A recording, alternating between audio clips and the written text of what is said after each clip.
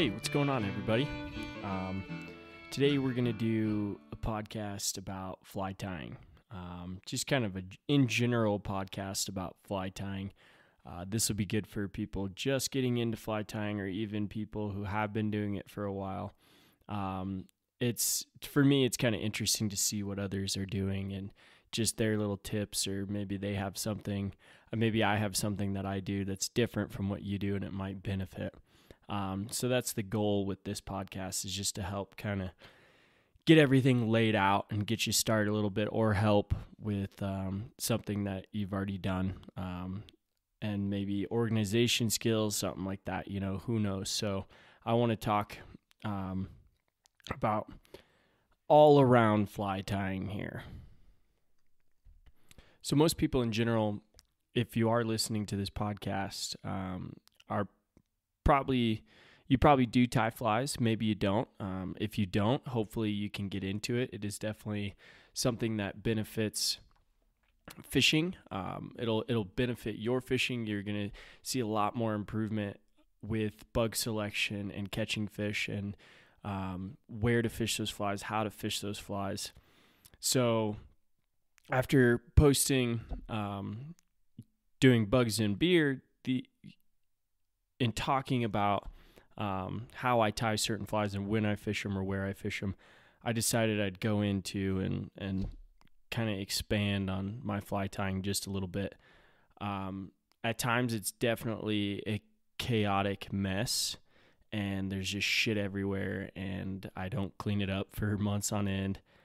And then, you know, it's always good to get around and clean all that up. But anyways, we're gonna talk about all that. But um, if you're just getting into it, um, you know, obviously you want to set up a good area for you to be able to tie flies. Um, you're going to want ample space to kind of spread out. A good table's nice, you know. Um, kitchen table's good at times, but you know, maybe you're married or have a girlfriend or whatever that you live with, they might get a little pissed that there's feathers and crap all over the table. I know I was I went through that a little bit where I was trying to designate a space or going through moving or whatever and trying to figure out where to tie. And I'd always end up kind of at the kitchen table tying. Um, and it, it is a mess. So if if you do have an area, try and try and designate a small area if you can. Um, but be you know you want to be able to spread out a little bit.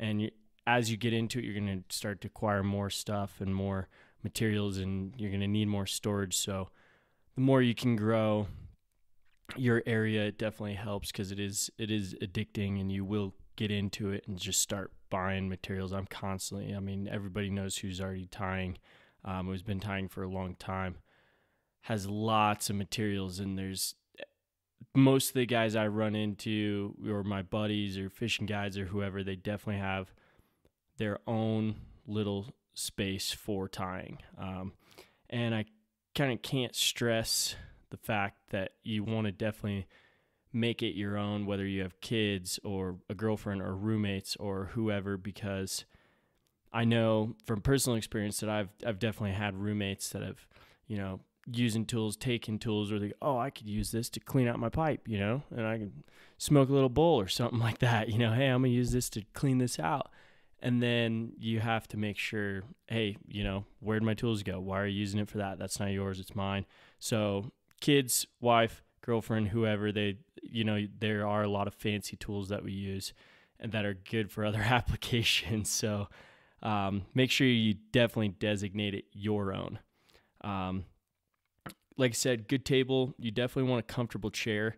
At times, you might be sitting for hours on end. Uh, I know at time when I'm doing it during the winter, I sit for, you know, four or five hours tying flies at times, and it can definitely beat you up. So you want to make sure you have a good, comfortable chair to sit in and make sure that you are able to sit there for a while. Um, and then, you know, lighting is huge when you're picking an area.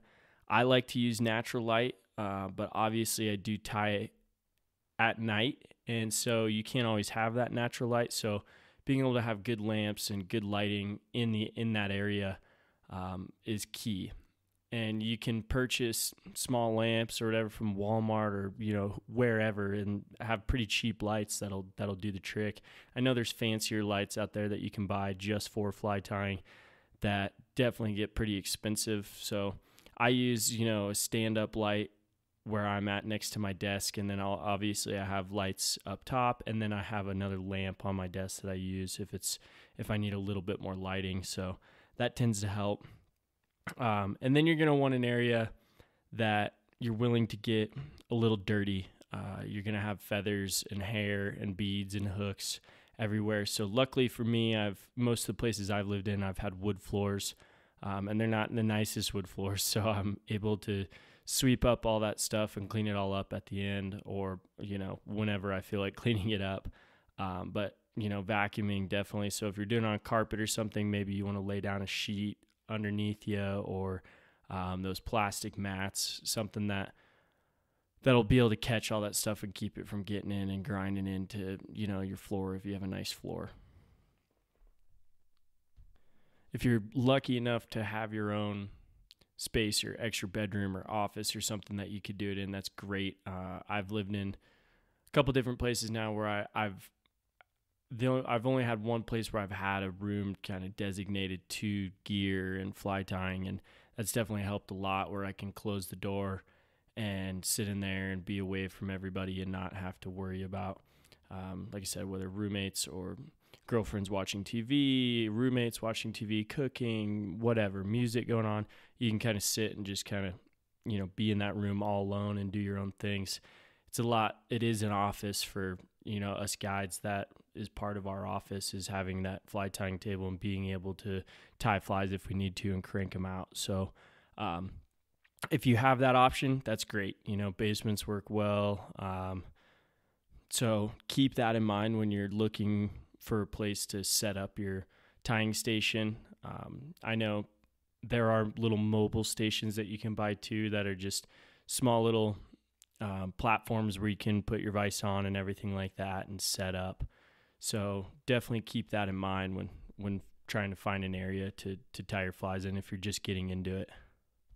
All right, so I'm going to jump into um, organizing your fly tying table a little bit and, um, you know, making sure you know where everything is and can find everything because it does help with tying if you do know where all your materials are. And I know for me, if my desk is clean, I've cleaned it up, then I usually have a better time while I'm tying flies. I'm not constantly searching for stuff, looking for certain materials. So, at times my table's definitely in just an organized mess where there's just shit everywhere. I can't, you know, I, I know where things are, but yeah, it's a mess. Um, and it's my mess, you know, but if I do clean it up and organize it a little bit, then it helps. So, um, obviously storage is huge and I'm going to kind of, I'm to circle back around to storage here in just a minute.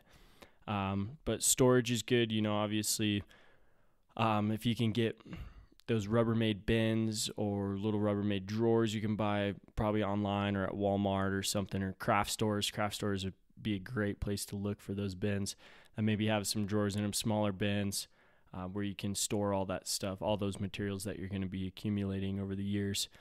Um, you know, talking about craft stores, what I do is I'll buy, you know, bead boxes that they'd use for, you know, beads for bracelets or whatever, and I'll with the little squares in them. They're already organized. They're set up like a grid almost, and I can put my fly tying beads in there.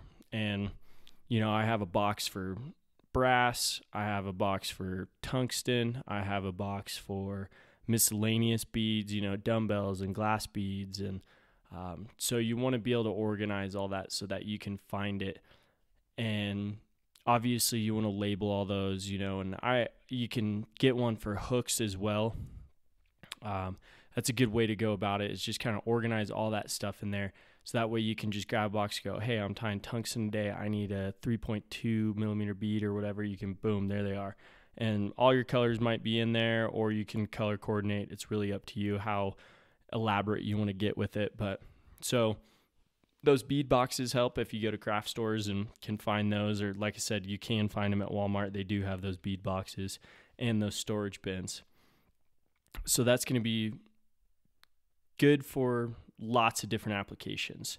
Um, but like I said, I'm going to kind of circle back around to storage and how I like to store things and organize all my hair and materials and stuff like that. So, um, tools, when you're organizing your tools, I like to use um, a tool caddy. I use a Renzetti foam tool caddy. It's relatively inexpensive, about 20 bucks. You can get a Renzetti tool caddy. And I like the fact that they're foam because if I need to, I can hang hooks on them if I'm drying them or if they're waiting to go. You know, maybe I put a bead on there already and I'm, I set it on, I can just hook it in the foam and let it sit there.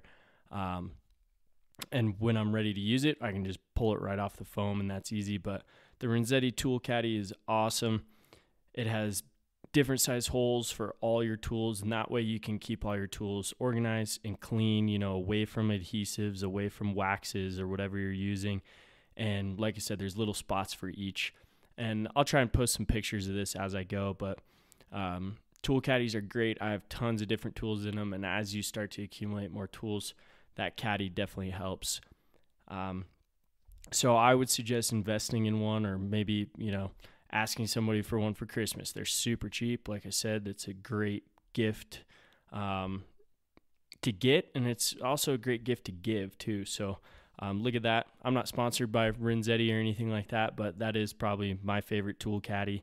There's more out there, and I've seen people do a lot of different things. I recently saw somebody online who made a tool caddy of an antler, you know, a deer antler, and they drilled holes through there and were able to slide all their tools in, you know, scissors and bobbins and all that. Um, so the tool caddy is, is great idea.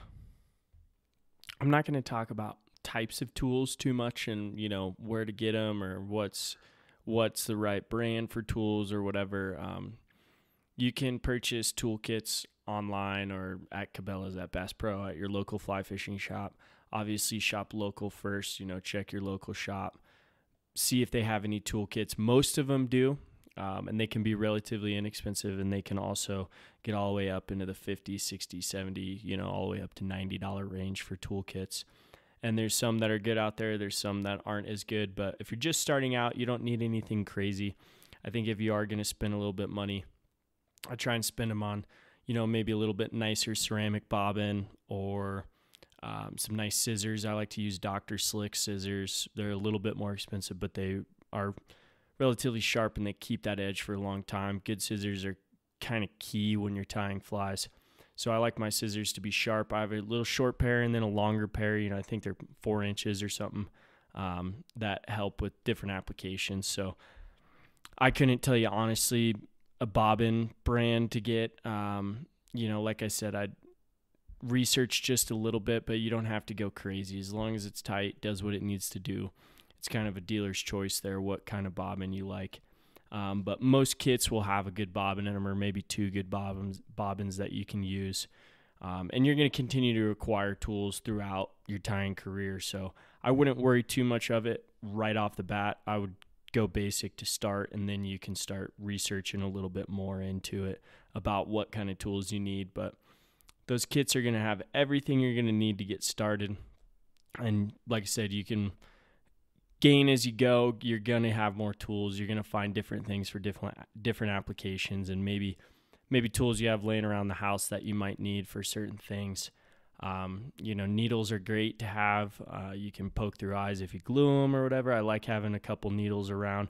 Also good for different tying applications. Those needles you can tie foam onto them and make foam bodies differently. So um, that's kind of more advanced, but like I said, as you get into it, you're going to acquire more, but don't think about it too much right off the bat.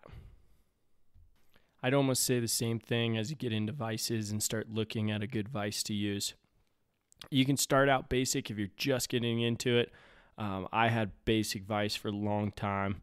Um, and so I wouldn't think too crazy about it. You know, there's vices out there that can go up to five, six hundred dollars or more, but you don't need to spend that right off the bat. You can again buy a kit or something with a vise in there that'll work for now and then as you start getting into tying and like it enjoy it you want to do more then you can start looking at a little bit more pricey vices um, so again i'm not going to go too much into it i'm not great at that and i can't give too much advice on it you know maybe a commercial tyer might have a little bit better idea of what to use Again, I use a Renzetti vise, uh, not too expensive, about $200 vise or so. and they also go down from there. You know, there's an apprentice vise that I had for a while that was I think maybe around hundred bucks or so. So, um, and at the time when I was getting that, that was expensive for me. Man, hundred bucks that's that's a lot. But you can get a kit that'll have a basic vice in it. That'll that'll be good to start. So again, I'm not going to talk too much about it. I can't really tell you, hey, this is the best vice to use. This is the best company to go with. This is the one you're going to need. I'm not going to go into that. Um, again, like I said, same on tools, but I don't really have a leg to stand on when it comes to those. A lot of commercial tyers are going to have a better idea of what brands and um, you know what style that they like to use. All right, so we've talked a little bit about um, your tying area, organization of tools, types of tools, a little bit about types of tools. Um, storage, you know, what type of storage you're looking for, what's the easiest, or what I use at least. Um, so now I'm going to talk a little bit about um, organization of materials and how I like to organize things. Um, so I've talked about, you know, what type of bins you can get. You know, obviously the bins with the drawers you can get at craft stores or whatever. Um, but what I like to do when I'm organizing my materials is I have a lot of different bins that, you know, I have a couple big bins, I have a couple small bins, I have some that are wider, some with different drawers, you know, smaller drawers, larger drawers, whatever. But how I like to do it is like organize like materials together. So I'm going to have all my beads and all my hooks in a drawer. I'm going to have all my boxes that I like to, you know, take on the take and put in the boat if some, you know, those little plastic cups or bins or whatever I have in there in case I need to put some flies in there real quick or I don't have my fly box on me or whatever. Um, and then I have, I store all my, like I said, like materials together. So I'm going to try and put, you know, all of my hair in a drawer. So I'm going to have all my elk hair, all my deer hair, all my spinning hair, all my colored hair, all my moose hair, calf hair, whatever. All the hair is going to go together. Um, all the feathers I like to store together pheasant feathers, um, ostrich, peacock, everything everything you can imagine feather wise, I'm going to put in a drawer as well. All my dubbing, same thing. Um, so on and so on. I I mean I actually have a drawer that says rubber shit. So everything related to rubber is going to go in that drawer. Um, rubber legs, all my sexy floss, all my hopper legs, um, D rib, you know, anything that's rubber is going in there. Anything that's related to rubber is going to go in there. I even have a drawer for all my flash, all my Flashabou, everything that is flashy, it's all going in the same thing. So you get the idea. You know, I have a drawer for foam. All the foam that I own goes in that drawer. That way I can find it all. It's all categorized um, by type of foam, size of foam. So when you open the drawer, you can go, okay, cool. I'm looking for two mil gray. Um, boom, there it is. Got it. Cool. Um, same thing with thread, wire, um, tinsel, anything you're using that is on a spool has its own little drawer. All my thread has a little drawer. All my wire has a drawer. All my wraps, all my lead wrap has a drawer. Um, like I said again, all my tinsel, all my um, flash on spools have drawers. So everything that is like goes together. That way, it's easier to find. I'm not constantly searching for a certain material. I'm going, oh, where the heck did I put these mayfly tails? I'm going to put those with my feathers. I know that in my head. So, whatever system works well for you, that's the system you should use. But that's what I like to do. And then I also have another interesting way I like to organize my materials. I'm not sure where I got this idea. Um, it might have been, I think it was the thin air angler. I think I saw it on Instagram or Facebook or something. But um, one Christmas, my, my mom always likes to get me fishing gear for Christmas, obviously, you know, and she might not know exactly what I'm looking for or whatever. So she buys something that I she thinks I can use. A lot of it is she likes to buy me little bags, you know, that are meant for fishing or whatever. So she bought me this bag one year. I think it was a Cabela's bag or some a big tackle bag. um, and it was full of those plastic customizable lure boxes. You know, eight or ten of them or so. Um, and you know the ones where you can just put them in the slots and make the slot a certain size for whatever you're whatever lure you're trying to put in there, tube jigs, uh, Rapalas, whatever. Um, so what I did is I started categorizing those lure boxes. I started taking them and go, okay, so I want all my stonefly materials to be in this box. If let's say there's something I tie more often than not, you know, stoneflies. I tie a lot of stoneflies. I'm gonna make a Pat's rubber legs box, um, and I'm gonna put all the thread I would use for Pat's rubber legs, uh, all the chenille, all the rubber legs, all my lead wire, all my wrap, all my beads, whatever I need for stoneflies are going in a box. That way I can, you know, if I want to tie golden stones, I can grab the stonefly box, I can open it up. It has everything I need to tie golden stones in it. It has my flashback, it has my thin skin, it has my wire, has my hooks, has my beads, whatever I need for that. If I want to go and hey, I need to tie black Pat's rubber legs today. Boom, open up the stonefly box. It's all there. It's all organized according to what I like to tie.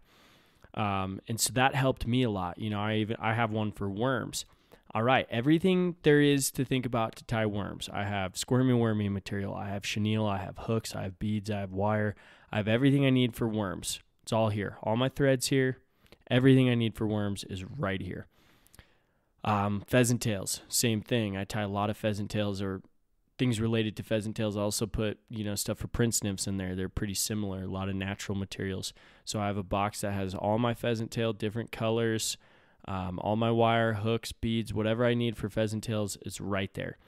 So it's an interesting way of doing it, but you can take that box out and know that you have everything you need right there. That way you're not searching around for it. So um, as I was kind of outlining this episode, I started to think about it, and there's a culinary term um, that's very similar to this. It's called mise en place. Um, it's a French culinary term where which basically means everything is in its place. So before you go to tie, um, you're gonna pull all the, your all your materials out to tie that bug. You know, let's say you're tying 20 inch stones today. All right, I need my peacock. I need um, my dubbing to dub it. I need my biots. I need uh, my lead wire. I need my beads. I need my flashback. I need my partridge. I need to pull everything out for that bug.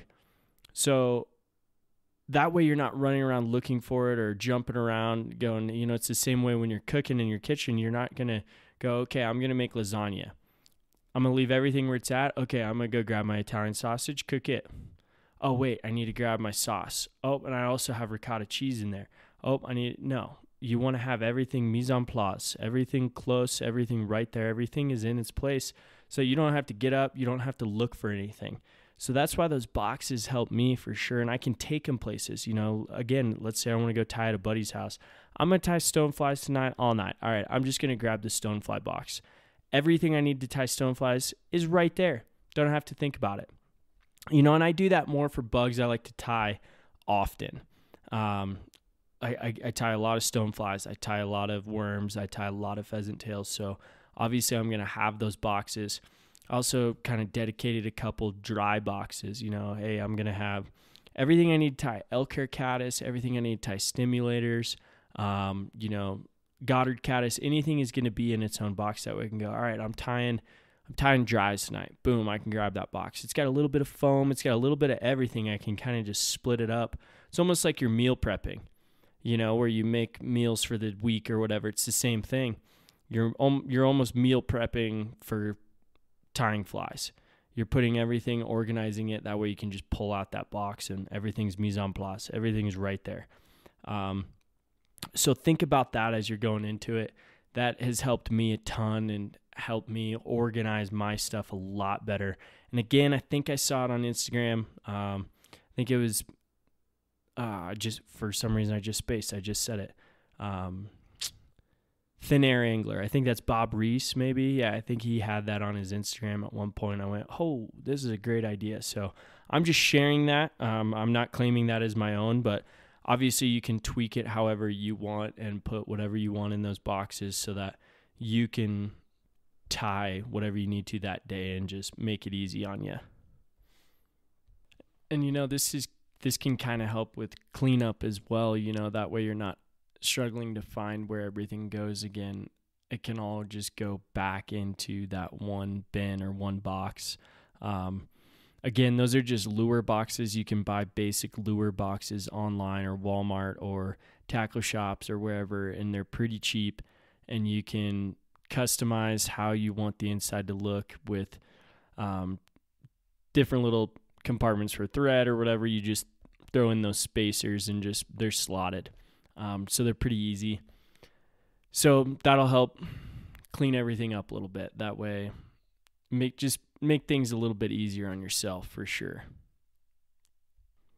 And you know, I'm even so anal where I go as far as having a little little Tupperware or something like I mean, an old yogurt container or salsa container, one of those plastic ones with the lid or something where I'd take materials that I've used or cut or something, just scrap materials. I have a little scrap Tupperware where I throw all my scraps in there, all my flash, all my thread, all my hair. You never know when you're going to need any of that stuff. Um, rubber legs, you know, a lot of people throw that stuff out or just go straight to the trash with it.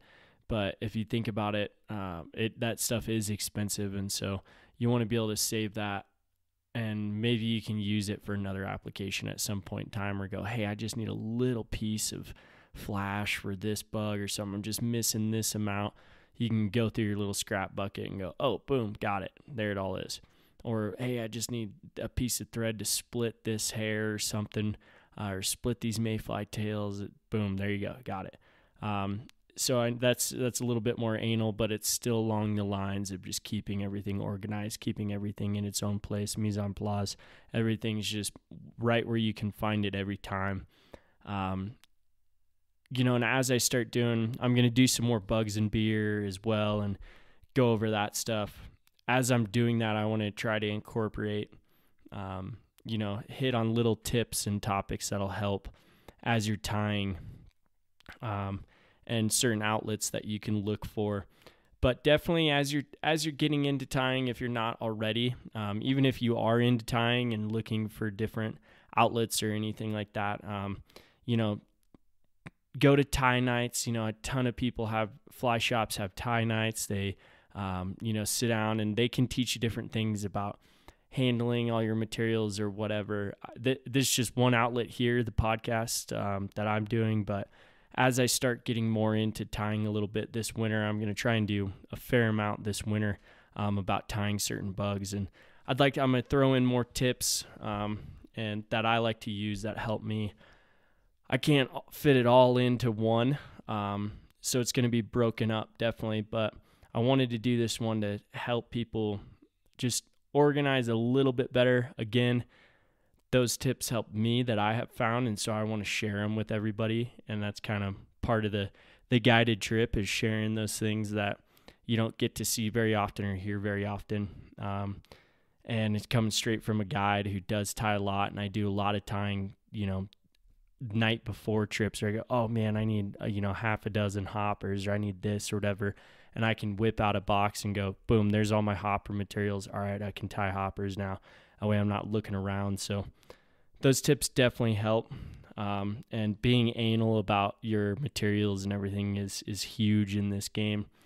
So I hope this has helped you a little bit. Um, obviously, if you have any tips, if you have any questions, if you have anything that I didn't clarify or you want cleared up, don't hesitate to shoot me an email, the guided trip at gmail.com.